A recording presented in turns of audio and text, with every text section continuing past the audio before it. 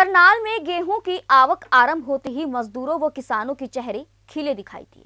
किसानों व आड़तियों ने उपायुक्त निशांत कुमार यादव के सामने जाकर कहा कि इस बार सरकार की व्यवस्था बड़ी सराहनीय है।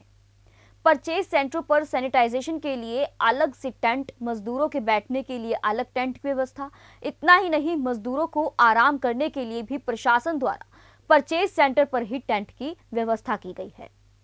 आरती ने बताया कि लॉकडाउन में भी सरकार ने किसानों की गेहूँ खरीदने के लिए व्यापक व्यवस्था बनाई है। इस व्यवस्था से हम सभी संतुष्ट हैं। खरीद से पहले ही सभी आड़तियों को बारदाना मिल चुका है और आड़तियों द्वारा किसानों को भी बारदाना दिया जा रहा है, ताकि किसान भी अपने स्तर पर बारदाने का प्रयोग कर सके। जिला प्रशासन द्वारा लॉकडाउन का पालन करने के लिए प्रतिदिन सुबह और शाम के सत्र में 50-50 किसानों को मंडियों व परचेज सेंटर पर फ़सल बेचने के लिए बुलाया गया है। इस बारे में मंडी में अपनी फ़सल लेकर आए किसान से बातचीत की गई तो उन्होंने बताया कि सरकार का यह सराहनीय प्रयास है। इस महामारी के दौरान किसान काफ़ी चिंतित थे कि उनकी फ़सल की बिक्री कैसे होगी। परंतु हरियाणा सरकार ने सरसों और गेहूँ खरीद करने के निर्णय से किसानों के हौसलों को बढ़ाया है। उन्होंने कहा कि वह प्रशासन का सहयोग करेंगे और जब भी उनका नंबर आएगा, वह अपने नंबर के अनुसार ही अपनी फ़सल लेकर मंडियों में आएँगे। इसके लिए वह अपने गाँव के लोगों को भी जागरूक करेंगे। आज आप फ़सल शुरू हुई है बिकनी तो क्या कुछ कहना चाहेंगे? आप कहाँ से हैं? कितनी फ़सल लेके आए हैं? और कुछ परेशानी आपको देखने को मिली है? नहीं परेशानी तो कुछ नहीं है जी। लेकिन एक परेशानी है जैसे हमारा एरिया इधर है ना जी जी। तो उसी एरिया पे उसी गेट पास बढ़ना चाहिए जी। अच्छा। और जो हमारा गेट पास बना उधरली साइड में अच्छा। हमने दिक्कत आई जी बस तो जी हम जिस इस साइड से आना हो ना इसी साइड में हमारा गेट पास बढ़ना चाहिए जी। और कोई दिक्कत दूसरी साइड पे हम हाँ। हम दूसरी साइड से आए जी हम्म, और गेट पास बना बना दूसरी साइड वाली। अगर हमारा मेन है जी मेन एंट्री उसी में हमारा गेट पास बना और सुविधा सब बढ़िया है कोई दिक्कत नहीं कितनी आप फ़सल अभी लेके आए इस समय? एक ट्रॉली लेगा आज। में अच्छा तो आप जैसे लॉकडाउन चल रहा है कहीं आपको परेशानी हम्म। नहीं कोई परेशानी कोई परेशानी नहीं। पुलिस प्रशासन था ना ना हाँ रास्ते में पुलिस प्रशासन था उन्हें पहले सहयोग दिया जी बहुत अच्छी बात है।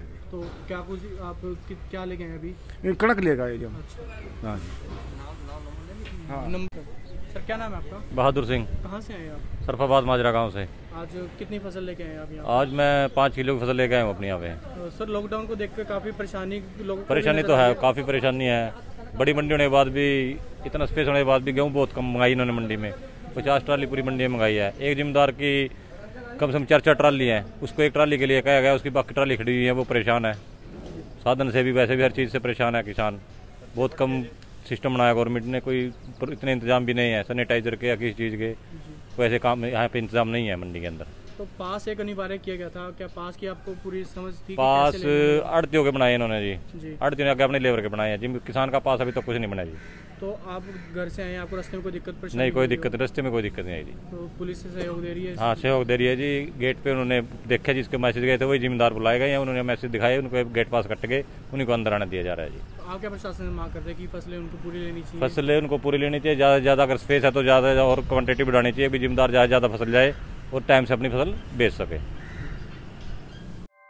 ऐसे ही लेटेस्ट खबरें पाने के लिए बेल आइकन को क्लिक कर हमारे चैनल को लाइक शेयर एंड सब्सक्राइब करें धन्यवाद JBD Banquets lie हैं incredible marriage palace Rajgharana and the finest banquet hall Jyoti Garden. World class catering, centrally air conditioned, lush green lawns, state of the art lighting. A perfect venue for wedding, launching and parties. Rajgharana and Jyoti Garden at JBD Banquets Enterprise.